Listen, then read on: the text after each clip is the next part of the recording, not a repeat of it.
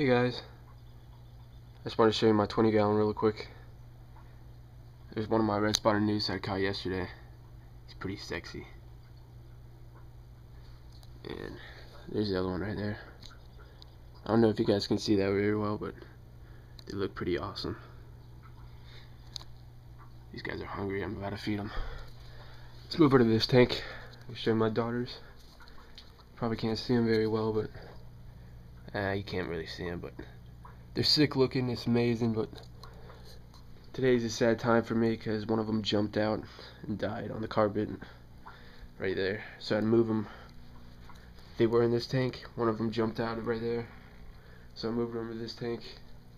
So it's more covered right here. So hopefully this will keep them out.